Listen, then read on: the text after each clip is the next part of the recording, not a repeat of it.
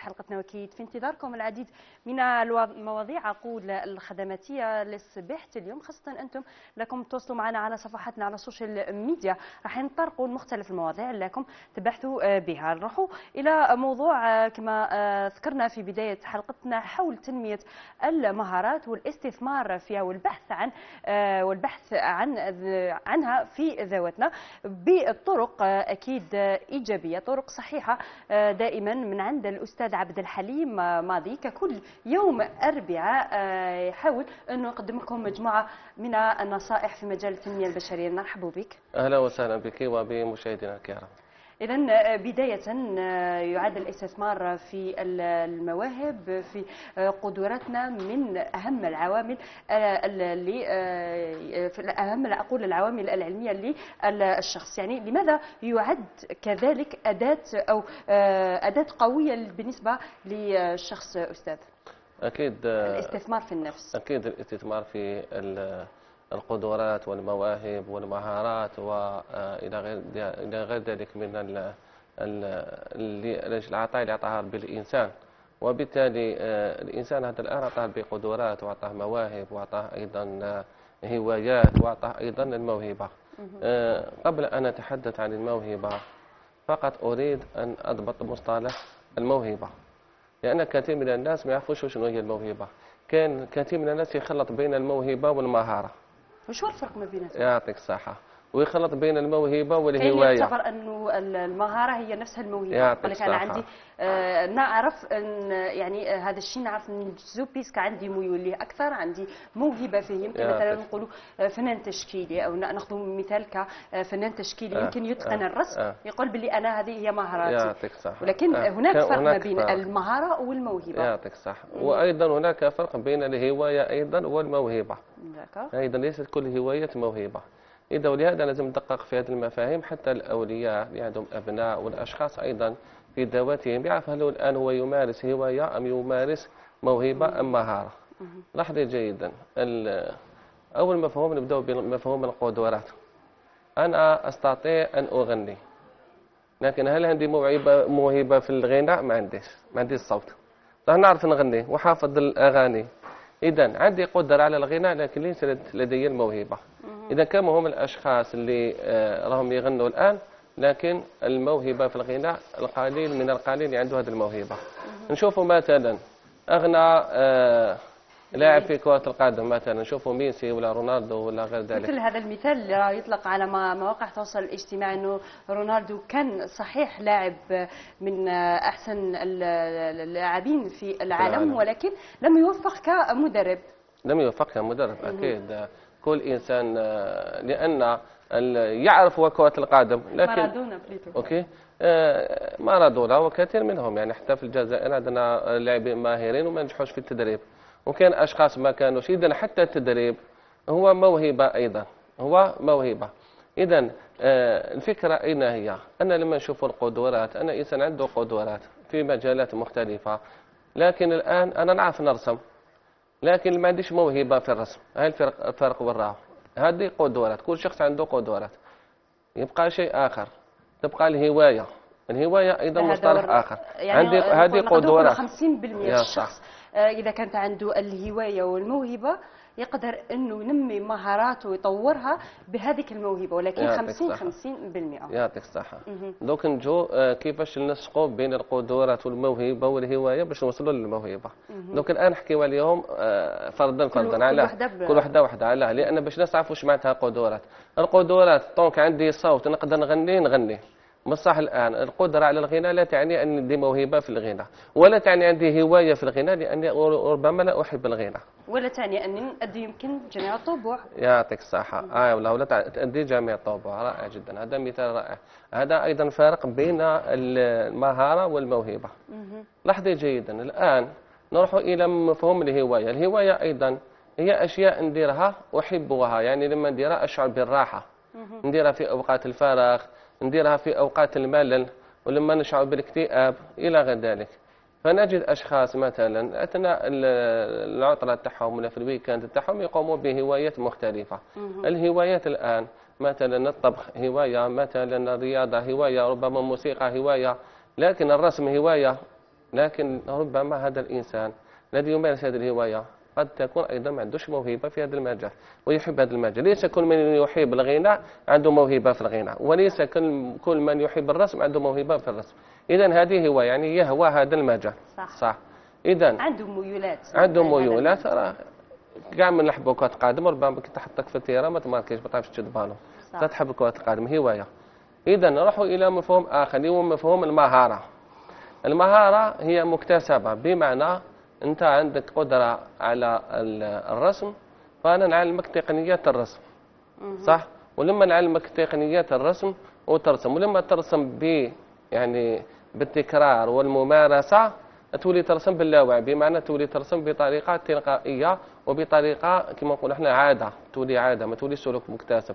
تولي عادة كيش تولي عادة مثلا واحد يقود السيارة؟ مرة الأولى. هو الآن تلقاه مرتبك وخايف وكذا. لما يقود السيارة ست أشهر عام يولي يقودها بطريقة تلقائية. يعني ممكن أن يتحدث مع شخص آخر ويتكلم في موضوع آخر بدون أن ينظر إلى الأدوات الموجودة في السيارة. هذه تسمى المهارة. مكتسبة. أيضا هذه ليست موهبة. ماشي بالضرورة أنك تعمل شيء بطريقة تلقائية عندك موهبة. ماشي معناتها الآن أنت تطبخ وبشكل جيد عندك موهبة في الطبخ. قد تكون مهارة. تعلمت هذا مكتسب وبالتكرار وتطبخ بشكل جيد. لكن أيضا ليس موهبة. يبقى سؤال ما هي الموهبة؟ يعطيك الصحة. لاحظي جيدا أولا الموهبة وقتاش تعرف بلي هذا الشيء هو موهبة عندك. لما تمارسه خارج أوقات العمل. وكيف نستثمر كذلك في يعطيك؟ الصحة.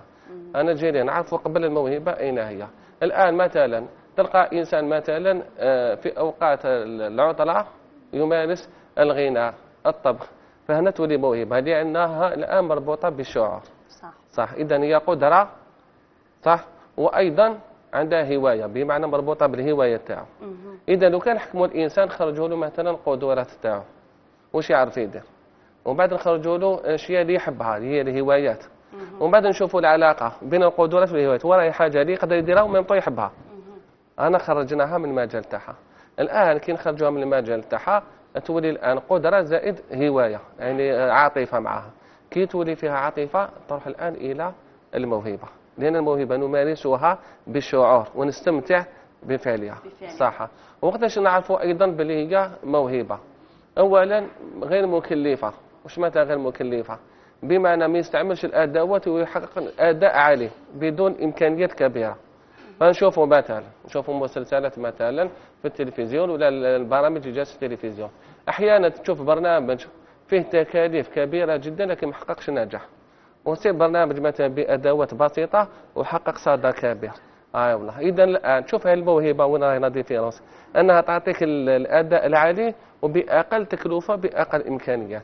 اذا هاي la différence أيضا تاع الموهبه الشخص مثلا اللي تعطيه إمكانيات كبيرة جدا مثلا باش يمارس رياضة معينة لكن ما عندوش الموهبة. الأداء ما يكونش عالي. وكاين شخص بأدوات بسيطة يوصل. نشوفوا الرياضيين لعبوا ألعاب أولمبية بأدوات بسيطة صح؟ ومع هذا حققوا نتائج كبيرة علاه لأن الموهبة اللي كانت تدفعهم وليست المهارة. يعني في هذه الحالة نقدر نقولوا أنه اللي ما عندوش موهبة ما يقدرش يستثمر في مهاراته يقدر يستثمر. بصح لاحظي جيدا استثمار في المهارات. لاحظي جيدا الموهبة هي الدافع هي الوقود. على حد قولك أستاذ أنه لازم تكون الموهبة حتى نقدر نستثمر فيها. آه. تقدر ما تكونش الموهبة ونستثمر تكون تكون مثلا قدرات. تكون الشخص هذا عنده المهارة مكتسبة. نعطيك مثال. نقدر نعلم شخص مثلا رياضة معينة. كم هم الرياضيين اللي عندهم نفس ال- الأداء؟ لكن الآن نلقى واحد متميز. كما قلنا في كرة القدم نلقى مثلا رونالدو هو المتميز. نلقى مثلا في ألعاب معينة ولا في الغناء نلقى شخص متميز. لكن لما نشوفوا التميز تاعو ما كانش عنده إمكانيات. وكان أشخاص تاع المهارة لو كان ما تعطيش إمكانيات ما يعطيكش الأداء. صح. فهمت الفكرة وراي؟ مثلا واحد جيني في الرياضيات تلقاه بلا ما دير له ليكور بلا ما دير له كذا فيعطيك نتائج كبيرة. لأنه الأداء تاعو هذا موهبة يعني هو يستمتع في هذيك ال- الأداء اللي هو يديره مثلا رياضة ولا غناء ولا شيء معين. الأمر الآخر لاحظي جيدا. المهارة المعلومة تسبق المهارة. في الموهبة المعلومة جمهور المهارة. بمعنى الإنسان يعرف يرسم بعد يتعلم الرسم. مثلا تلقاه. الإنسان يمكن الغني ما يقدرش يرسم مثل الرسام نفسه. شوفي لاحظي جيدا مثلا في المهارة معينة تلقى مثلا شخص يعرف يرسم ما دخلش ما دخلش مثلا مدرسة تاع الرسم.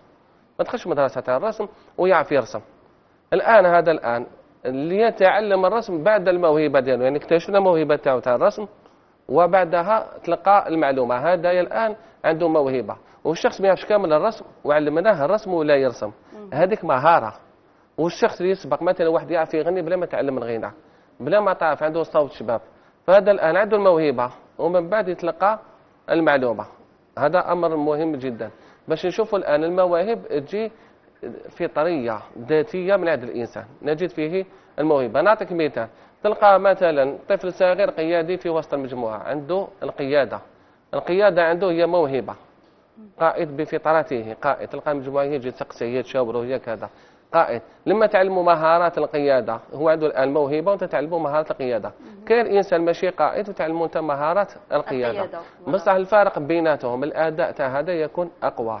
هذا يمد الأداء العالي. لأنه آه، ال- الموهبة تساعد 50% في آه، تنمية القدرات أكيد. والمهارات الم- الموهبة- يعني فقط آه، أستاذ تقدر تقدم لنا نصائح وطرق تشجيع على تنمية هذه القدرات هذه المواهب الاستثمار في أنفسنا وكذلك البحث في ذواتنا. أكيد. أول شيء نبدأ بمرحلة القدرات. وش معناتها؟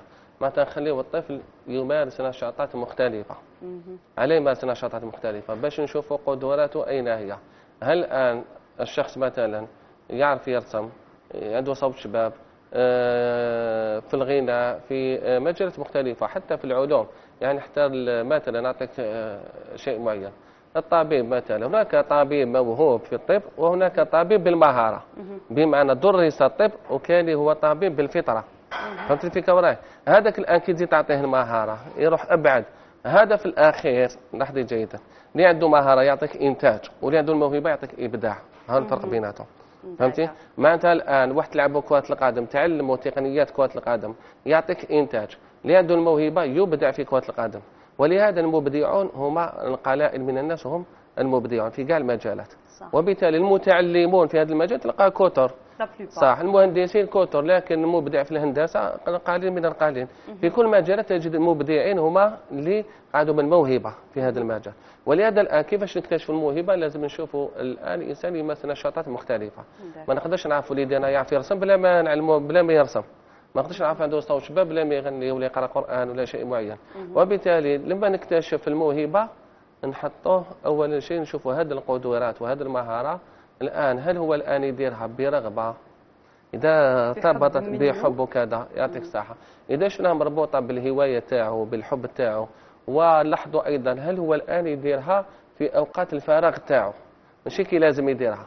مثلا واحد يرسم تلقاه في البيت أو يرسم واللي ما يحبش الرسم غير يلقى حصة تاع الرسم باش يرسم. فهمت الفكرة وراك إذا فلما نشوفوا الآن يديكومبريسي بها هذاك السلوك يديكومبريسي به مثلا هذيك المهارة اللي يحب الرياضيات نطيبو يحل مسائل تاع الرياضيات حتى خارج المقرر تاعو اذا هو مستمتع اللي يحب الفلسفة يقرأ كتب الفلسفة حتى خارج المقرر تاعو وكل شخص الآن تلقاه يستمتع في هذا المجال. الآن لما نجد المتعة ديالو والقدرات تاعو هنا نحطوه تحت تعلم المهارة. وش متى تعلم المهارة؟ المهارة تثقل الموهبة. يعني نحطوه في ايادي فنيه ومتخصصة لتساعد على تطوير تلك الموهبة. وهذه الايادي الفنيه المتخصصه بما نحتوي تختصر عليه التجربة والخبرة وتخليه يتطور في هذا المجال. وتافونسي. الآن الأداء تاعو بين الأشخاص اللي راهم معاه هو اللي عنده المستمتع بهذا الأداء والآخرين راهم فرصي في هذا المجال أكيد اللي يكون عنده الرغبة والعاطفة قوية هو اللي تشجيع، آه، يعني تكون عند اللي يحبوا المجال نتاعهم اذا نشكرك أستاذ عبد الحليم ماضي لتدخلك اليوم معنا آه، في ملفنا الصباحي. شكرا بنت والتحيه لك. يلا آه، مشاهدينا حين